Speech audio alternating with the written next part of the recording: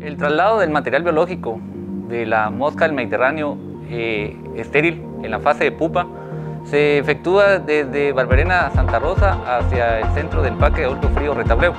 Esto se hace en un camión climatizado para poder conservar en esa etapa el material. Este se recibe en retableo, en cilindros que contienen la pupa ya previamente eh, estéril por medio de unos irradiadores allá en Santa Rosa. El empaque de torres consiste en colocar el material biológico en la fase de pupa en canaletas que van ensambladas en unos marcos con sedazo llamadas cribas. Esos posteriormente también ensamblados en unos eh, anaqueles o, o, torres para eh, esperar la emergencia de esta pupa a la fase del adulto. Luego ya son destinadas las salas donde esperamos que emerja el material y permanezca por algunos días para que alcance su madurez sexual y posteriormente se libera. Ya ensambladas las cribas en las torres, ya se procede a colocar el alimento en cada torre. El alimento consiste en agua y azúcar, que eso es eh, lo que necesita el adulto o la mosca voladora para posteriormente ser liberada.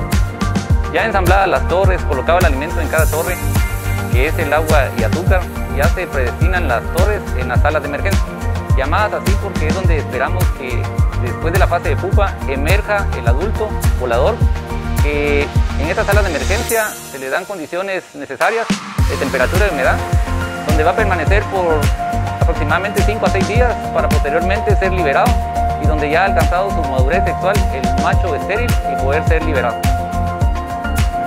Luego de que la mosca ha emergido y ha alcanzado su madurez sexual, en las mismas torres son trasladadas de la sala de emergencia a los cuartos fríos. En los cuartos fríos es donde se hace el proceso del noqueo y la colecta. El noqueo consiste en introducir las torres con la mosca estéril a los mismos para que esta a baja temperatura lograr letargarla o dormirla.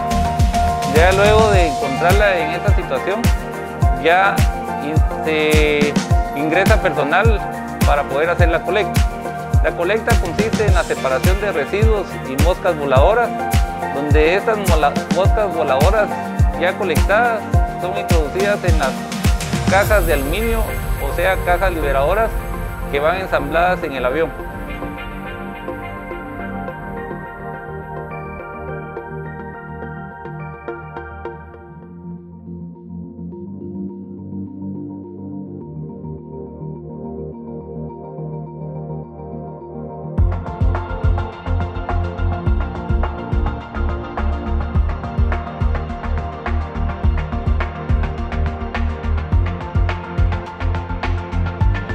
Luego de obtener la mosca colectada en los cuartos fríos, estas son trasladadas a la pista donde se opera para la liberación. El traslado se hace en cajas de aluminio llamadas cajas liberadoras. Estas son introducidas en un camión con una unidad de refrigeración para estar climatizado.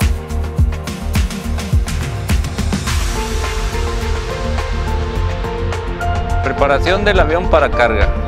Con personal del programa Moscamed asignado en pista, ellos se encargan de revisar máquinas liberadoras y equipo de navegación aérea. Esto es eh, previo a la carga de las cajas liberadoras con material biológico. Esto consiste en la calibración de la máquina y climatización de la misma. Dentro del avión van ensambladas máquinas liberadoras.